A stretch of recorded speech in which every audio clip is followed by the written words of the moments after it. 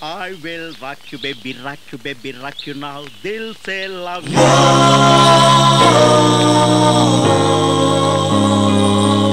They'll say love you, baby. Hi I'm Pritam Pritam Prasad hi Prasad music company MD Prasad music కంపెనీయా అటువంటి పేరు నేను ఎక్కడా వెళ్ళలేదు నీకేమైనా తెలుసా? నేను ఫస్ట్ టైం వింటున్నాను రా. మీలాంటి టాలెంట్స్కి మాలాంటి మ్యూజిక్ కంపెనీ తెలియదు అంటే ఆశ్చర్యంగా ఉంది. మేము యాక్చువల్లీ మ్యూజిక్ కంపెనీ స్టార్ట్ చేసినప్పుడు ఎన్నో పెద్ద పెద్ద కంపెనీలు మాతో కాంపిటీషన్లో గెలవలేక లాకౌట్ అయ్యాయి. అందులో ఐదారు కంపెనీలు ఈ మధ్య మేమే టేక్ ఓవర్ చేసాం అవునా? మనం ఇది ఎప్పుడు వెళ్ళలేదేంట్రా తప్పు మీది కాదు. యాక్చువల్లీ నేను ఇన్ని రోజులు హిందీ ఇంగ్లీష్ ఆల్బమ్స్ మీద కాన్సన్ట్రేట్ చేశాను. మీ ప్రోగ్రామ్ చూసాక అనిపించింది నేను ఎందుకు ఇన్ని రోజులు తెలుగు ఆల్బమ్ చేయలేదు అని. ఎంతైనా నేను తెలుగు వాడినే కదా సరే ఇదంతా మాకెందుకు చెప్తున్నట్టు? మీ ఎఫర్ట్ నాకు చాలా బాగా నచ్చింది. అందుకే మీకు ఒక ఆపర్చునిటీ ఇవ్వాలని ఇక్కడి వరకు వచ్చాను. ఇంత చెప్పా కూడా మీరు నన్ను నమ్మకపోతే వదిలండి. బాయ్ సస్పెన్స్లో పెట్టి వెళ్తావేంటి? అదేంటో చెప్పిళ్ళు. లుక్ స్ట్రైట్గా విషయానికి వస్తాను. నేను ఇలా తెలుగు మ్యూజిక్ ఆల్బమ్ ప్రారంభిస్తున్నాను అనగానే పదిహేను నుండి ఇరవై లక్షల వరకు ఖర్చు అవుతుందని నాకు ఎందరో సజెస్ట్ చేశారు. కానీ మీ టాలెంట్ చూసాక చాలా తక్కువ అనిపించింది. అందుకే నేను మా ప్రొపరేటర్తో మాట్లాడి ఐ మీన్ మా డాడ్తో మాట్లాడి దాన్ని వన్ క్రోర్ చేశాను. వావ్! మీరు ఓకే అంటే కాంట్రాక్ట్ సైనింగ్ అన్ని అరేంజ్ చేస్తాను. ఏమంటారు? అయితే ఈ విషయం గురించి మా టీం లీడర్తో మాట్లాడదాం? అంటే నేను గిటార్ వాయిస్తూ పాడిందే తనేనా? సింగర్స్ దేవున్ సార్ గల్లీ గల్లీలోనూ దొరుకుతారు. కానీ మీలాంటి టాలెంట్ ఉన్న మ్యూజిషియన్స్ దొరకడం చాలా రేర్ మీరేమో క్రెడిట్ అంతా తనకే ఇస్తున్నారు. మోస్ట్లీ మీరంతా చాలా మంచి వాళ్ళు అనిపిస్తున్నారు సార్. ఆ విషయాలన్నీ ఇప్పుడు ఎందుకు లేండి అది నిజమే. చూడండి నాకు సింగర్స్ కంటే మీలాంటి young and energetic talented musicians కావాలి. ఆలోచించుకొని చెప్పండి. సరే ఎక్స్క్యూజ్ మీ సార్ ఈ కాంటాక్ట్ మాకు ఓకే యా గ్రేట్ అయితే వెంటనే వెళ్ళి మా డాడీని మీట్ అవ్వండి. ఇది మా music company address. All right all the best thanks buddy all the best thank you bro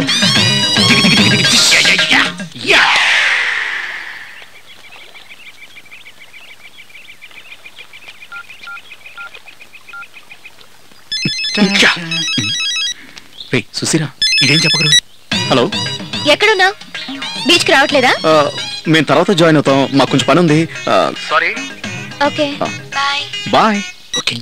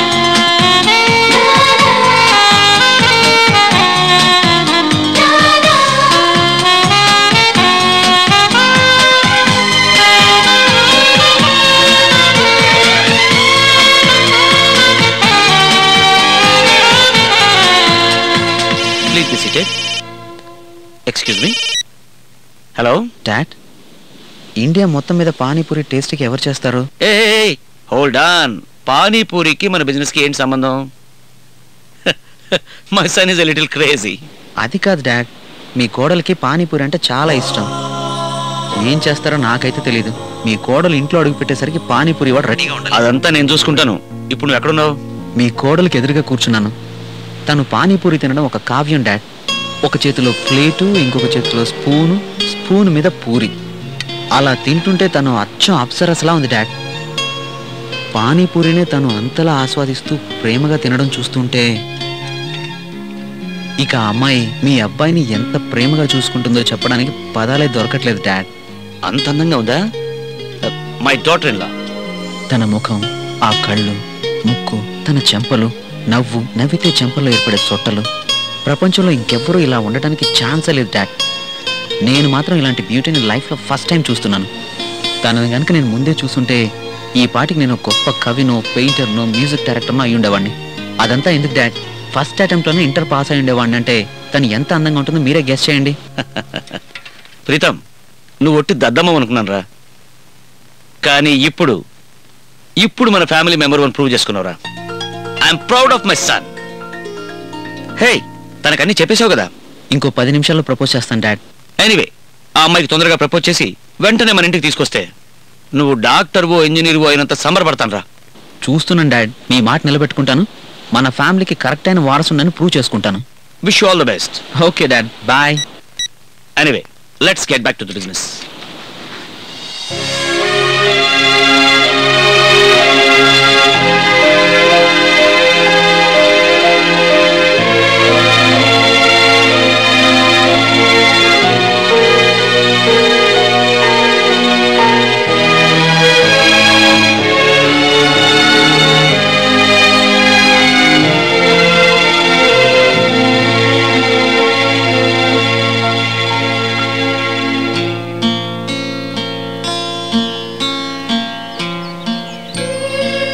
ఎంత లక్కీ మీ కోడలు ఎంత అందంగా గిటార్ వాయిస్తుంది? తన్ని పెళ్ళి చేసుకున్నాక తన గిటార్ వాయిస్తూ ఉంటుంది. నేను హాయిగా వింటూ ఉంటాను. అంతకు మించిన సంతోషం నాకు ఇంకేముంటుంది మా పొద్దున్నే టిఫిన్ చేయడం గిటార్ వింటూ ఉండడం మధ్యాహ్నం భోజనం చేయడం గిటార్ వినడం. ఎలాగో మాకిద్దరు పిల్లలు పుడతారు. తను వాళ్ళకి గిటార్ నేర్పిస్తుంది. వాళ్ళంతా నా చుట్టూ కూర్చొని గిటార్ వాయిస్తూ ఉంటే దాన్ని వింటూ ఏ టెన్షన్ లేకుండా బతికే అదృష్టం ఎంతమందికి దొరుకుతుంది? నువ్వే చెప్పు మామ్.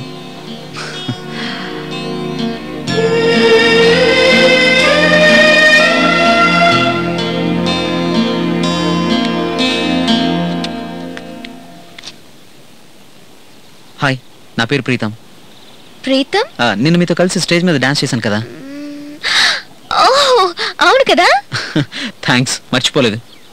మీ పాట చాలా అద్భుతంగా ఉంది. మీరు చేసిన డాన్స్ కూడా బాగుంది. అంతా మీ మ్యూజిక్ ప్రభావం.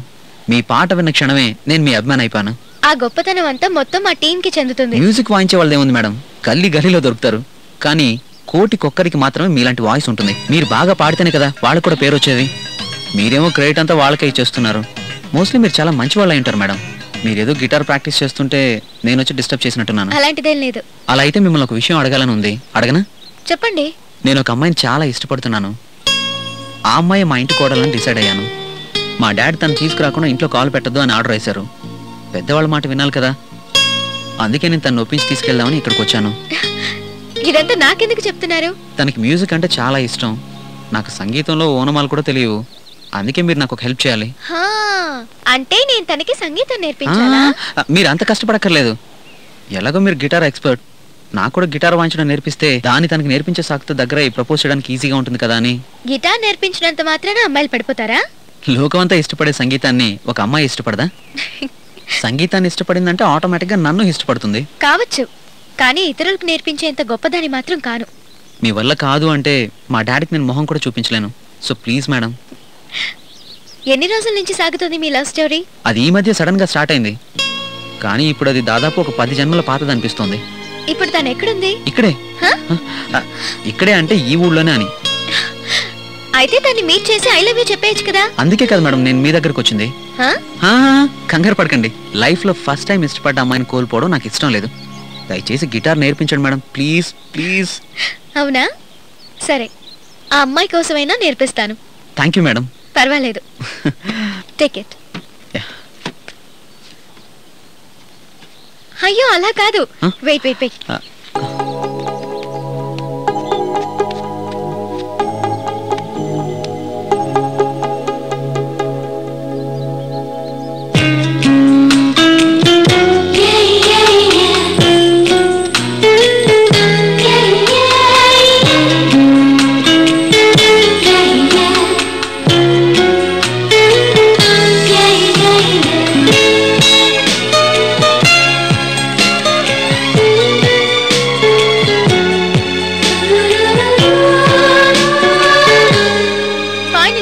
my favourite music bit ఇంకో థ్యాంక్స్ పెద్దవాళ్ళ ఆశలు నెరవేరిస్తే వచ్చే పుణ్యం అంతా మీ అకౌంట్కి ట్రాన్స్ఫర్ చేయమని మా పెద్దవాళ్ళకి చెప్పి ఆ దేవుడి దగ్గర రికమెండ్ చేయిస్తాను. మీ ప్రేమ సక్సెస్ అవ్వాలని నేను విష్ చేస్తాను. ఆ, తీసుకోండి పర్వాలేదు. ఇది మీ దగ్గరే పెట్టుకుని బాగా ప్రాక్టీస్ చేయండి. ఆ అమ్మాయి మీకు దక్కుతుంది. All the best bye bye bye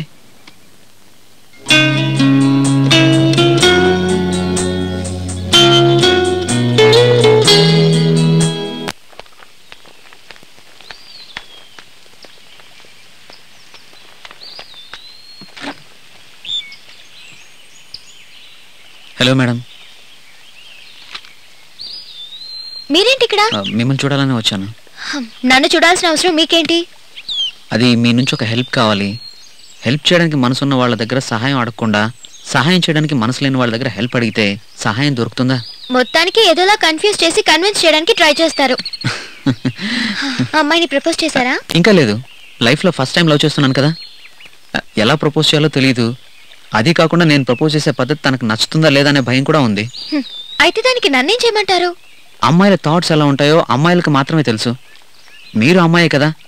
అందుకే మీ దగ్గర ఏమైనా ఐడియా దొరుకుతుందేమోనని ఇలా వచ్చాను. మీతో పెద్ద గోల్ అయిపోయింది. ఇంతకీ నన్నేం చేయమంటారో చెప్పండి. థ్యాంక్ యూ మేడం నిజం చెప్పాలంటే మిమ్మల్ని చూసినప్పుడల్లా తన్ను చూసినట్లే ఉంటుంది నాకు. హ్మ్, ఈ పొగడతలేవి అక్కర్లేదు కానీ డాడ్గా విషయానికి రండి. వస్తా. ఇప్పుడు మీరే ఆ అమ్మాయి అనుకోండి. నేను మిమ్మల్ని ఎలా ప్రపోజ్ చేస్తే మీకు ఇష్టం కలుగుతుందో దాన్ని బట్టి ఫాలో అవుతా. మీ బాధ నాకు అర్థమైంది. మీరు చెప్పినవన్నీ వింటుంటే నాకు ఇంట్రెస్ట్ పెరుగుతోంది. ఒక్క నిమిషం. ఇప్పుడు చెప్పండి. ఇదేంటిది? స్కూల్ పిల్లాడిలాగా? నేను ఇలాంటి వాటిలో చాలా స్ట్రైట్ మీరు చెప్పే దాంట్లో ఏ ఒక్క పాయింట్ మిస్ అని నేను చాలా ఇబ్బంది పడిపోతాను కదా అందుకని. బ్రిలియంట్ స్టూడెంట్ అనిపిస్తున్నారు. అవన్నీ ఎందుకు అడుగుతారులేండి? ఎల్కేజీ నుంచి ప్లస్ అయినా మన గురించి మనమే గోపాలు చెప్పుకుంటే అంత బాగుండదులేండి. మీరు చెప్పండి.